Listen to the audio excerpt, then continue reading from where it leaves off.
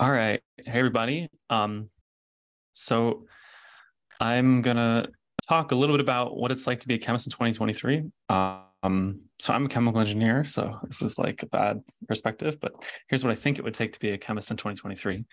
Uh, and so I just want to mention I have a talk later today uh, about LangChain and Paper QA. Um, it's kind of like a roundtable of everybody working on adding chat features to documents. So that is how do you build like chat GPT, but it knows like your bibliography or your papers or some document you want to ask questions about. So I'm going to talk a tiny bit about this today, but you can go see that LangChain workshop. I think it's at um I'm not good with time zones, 11 central time. Yeah. All right. So I got Midjourney last night, so I have to show two pictures. I apologize. You guys are probably so sick of seeing these things, but here's a chemist in 3023. Um, so this is where we're going. Um, and then I just have been like so impressed with its ability to, to like take celebrities. So this is Albert Einstein uh, doing a photo shoot. Um, all right, let's go, go on to real stuff now. So I want to, first of all, Kevin's talk was awesome. Like I love the way he's thinking about this. I think it's exactly, that's right. That thermoelectric paper from 2019, a real sleeper hit. I saw that presented a long time ago, and I think about the paper all the time. Such a cool idea. Um, and I'll talk a little bit about my philosophy similar um, in a minute, but I want to just give some practical stuff about like how do you, how can you be um, keeping up with AI right now, and how do you use these tools to accomplish uh, really cool stuff? Okay, so this is this is crazy, but this is the meme I think right now is like if you're using Google search, like what are you thinking? Uh, you need to be using Bing chat. Like that is the, the top right now. So I'm going to start with a tier list. So if you guys aren't familiar with tier lists, this is like my opinionated ranking of how to look up information doing in chemistry.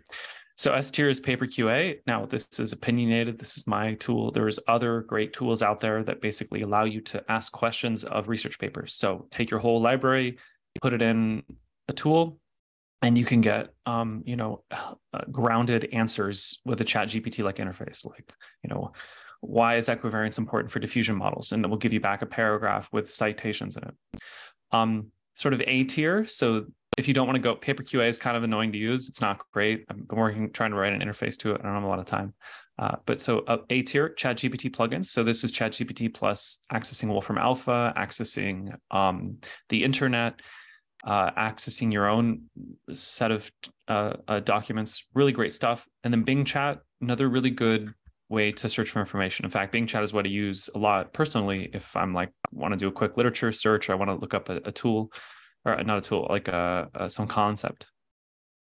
B tier. So I would say this used to be S tier. Perplexity is a really great tool. I think if you don't have Bing Chat, if you're not in the Bing Chat beta, you know, or if you're not in the Chat GPT plugin alpha, um, Perplexity is a great tool, perplexity.ai. That should be your go-to. You shouldn't be Google searching things in 2023. You should be going to Perplexity as a, as a first pass. Um, C tier, ChatGPT. ChatGPT is really good for like, you know, ideation, writing code, things like that. But I would say it's better than a Google search for sort of simple information. But if you want to get technical information, definitely any of these things above. D tier, um, other chat models, uh, I haven't seen great performance from them, but these is something which I'm sure will change soon.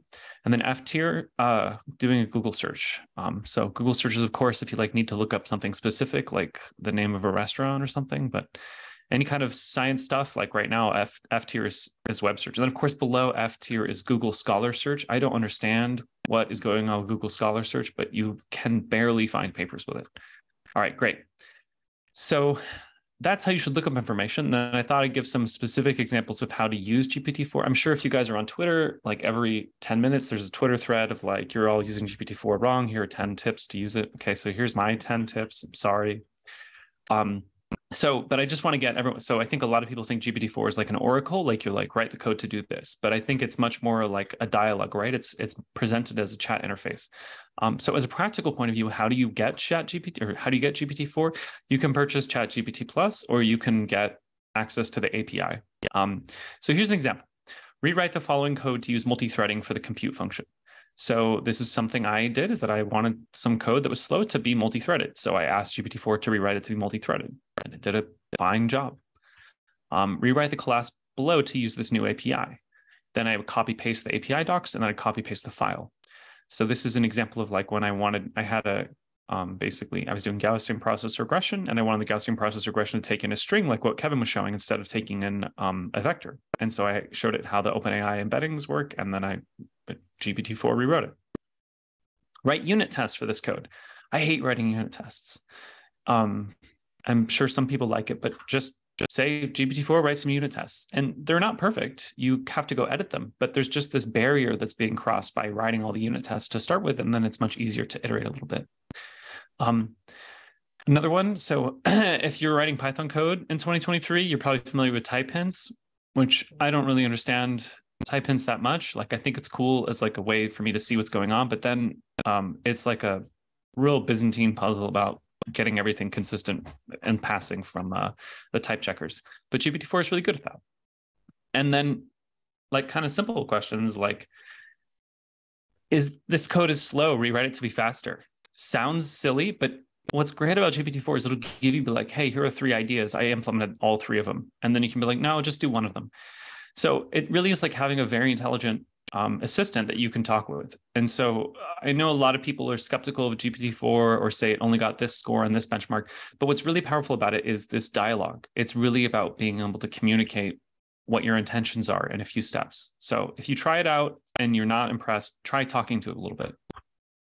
Oh yeah, convert this Python to Rust. So Rust, very cool, very very exciting language to me, but I never quite have had a reason to learn it. But you can actually start getting, you can get started learning Rust by basically having Python code be ported to Rust by GPT-4. Okay, so I want to just now talk a little bit about like what this looks like for finding new information. Um, so here's a specific example like if I ask ChatGPT or GPT 3.5. So GPT 3.5 is the original model of ChatGPT. What is the reason for making a bispecific antibody for CD38 binding? Kind of a technical question, and, G- and ChatGPT gives an answer that you might like. It's seemingly correct. It feels like something out of Wikipedia, but it's actually not correct. Um, and this is where I think ChatGPT is just it's not grounded, and so it shouldn't really be used for technical information. But if you want to know, like you know, what a what, what a thermodynamic cycle is, it's probably great. So now this is this paper QA thing where I have it do a Google Scholar search, download some papers, embed the text into a vector database. And then we do this a second time, it does a really good job of basically drawing upon real scientific papers and looking at specific text in there and gives a correct answer and it gives a citation. And then I went farther and packaged this up into an open source tool called Paper QA. So now this tool basically you upload PDFs and then you can ask like, how can carbon nanotubes be manufactured at large scale? And it gives you a paragraph of text with citations. Now it gives page numbers. Um, really cool tool. Um, and so I think I have like one little demo about what I did last night. So I couldn't sleep. So I wrote paper QA as an agent. So now I've tried to automate like how I do a literature search. So I gave um, an agent, so an LLM I gave it some tools, and I'll talk a little bit about this in a minute. I gave it tools to go do a search over papers, to read papers. So I told the LLM it has access to a researcher that will read papers and summarize important information. That researcher is actually another instance of the language model, right? So GPT-4 thinks it's asking a researcher, but the researcher is GPT-4 as well. It's confusing. But basically, I tried to automate all the steps of literature search, like downloading papers, checking if the information is in there. How much information do I have? Go search for more papers then try to answer the question. And what's really cool about this demo, and I'll talk way more about this demo um, this afternoon at my second talk. Um, basically, it tries to answer this question of why do birds flock, and it fails. And it realizes that it needs more papers with specific information. So then it goes back and does another literature search, and another parsing through papers with more with a different kind of keyword search. Anyway, so like this is just something I whipped up last night. The fact that I wrote it in like a couple hours last night is insane that we're able to do just stuff that would have been like you know a 100 person research project in DeepMind in like a few hours. So you got to pay attention to this field. It's incredible. Okay so let's talk about how you make demos like that. And this is where i think the future is is how do you basically take these large language models and give them access to tools and let them drive science or planning forward? And this is neurosymbolic computing. And so i just want to give a little this is from the gpt-4 system card. Um, basically about doing neurosymbolic cheminformatics. I've presented this before on Twitter, but I'll just you know reiterate this: is we can give these things tools like a web search, PubChem search, LLM code model, so that is like writing computer code and executing code, calculator, Python, synthesis planning, all these things. Um, and then we can give a question like design a compound with the same mechanism as dasatinib and purchase it. And basically the LLMs know how to use tools. So, like, it does a literature search about what is this drug and what is its mechanism of action. And it learns about other drugs that use this mechanism of action. Then it finds out what's the chemical structure of these things. Then we could use some of Kevin's tools to, like, figure out what's the melting point of this or what's the solubility of this compound. And then it does a patent search to see if this compound is novel or not. Then it says, you know, can I purchase this compound? If it can purchase the compound, then it purchases it from a catalog. Um, and then you end up with a compound basically that has similar properties, has been reported in literature as active against this mechanism and uh, against this target for a drug, and also something which is not patented and available commercially. Um, cool. Uh, I have no idea what time it is. Let me see. Okay, I have like one minute left. So um, yeah, I'll just reiterate Kevin's like something I've been thinking about a lot is that um, okay so here's here's how we think about chemistry materials. We synthesize something then we have this like platonic ideal of what we have made like based on the chemical structure or what we think the atomic structure is and then we go measure the properties right? So i'm thinking like cut this out. Um, the, how we synthesize something is is what we can act on. That is how we act on our world. Like that is what we report tell a student to do make that is to make this we this is what we put in our papers right? This structure what we think we made is sort of a collective hallucination. It's a nice mental model but what we really have is a set of properties right? We make something and we can measure the properties and we can act on it and I think we're at the point now where the LLMs can work directly with what is actionable, what the synthesis. And what's the benefit of working with synthesis?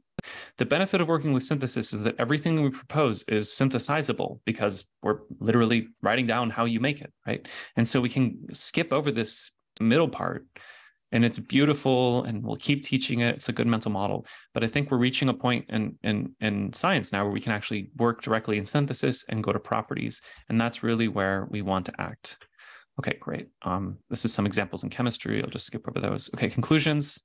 Um, wow. All right, great. So that's my talk. Uh, happy to take any questions. Thank you.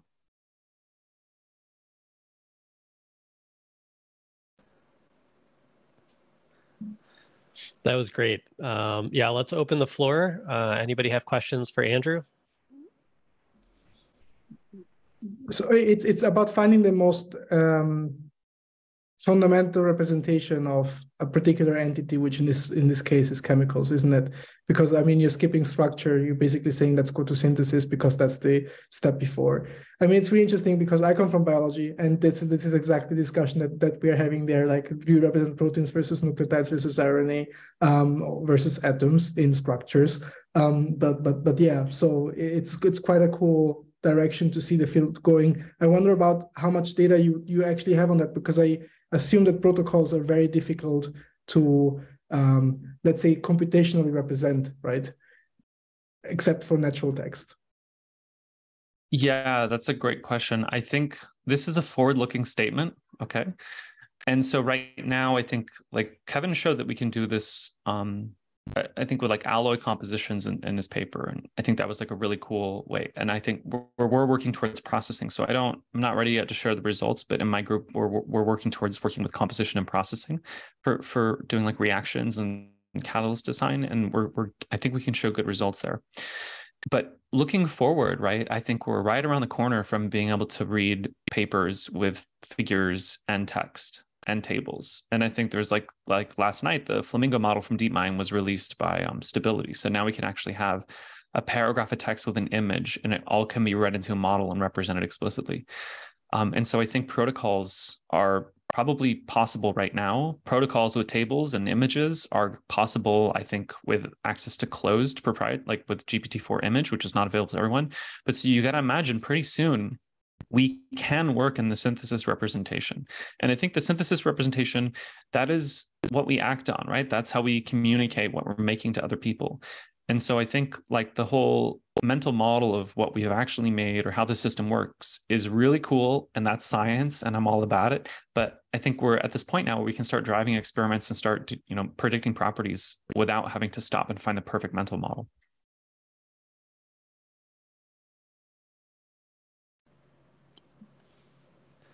Yeah, I, th- I think that's very interesting. There there are similar questions and materials around process structure, property relationships. So a lot of the same questions.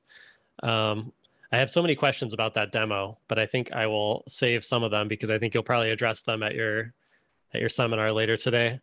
Uh, but you know, one question I guess is how do you how do you get from the model when it is uncertain and needs more information? Like, what is the process there? You know ben it was funny there was a paper that came out recently called like reflection or something or reflect action or something. And it was like they tried to come up with this mathematical model so that uh, they could tell when their llm was getting confused or caught in a cycle.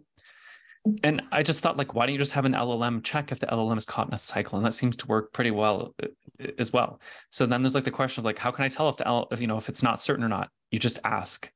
And it's kind of freaky like how often that kind of approach works right and so I think the answer to all of your questions, Ben, is just ask. Great. Love it.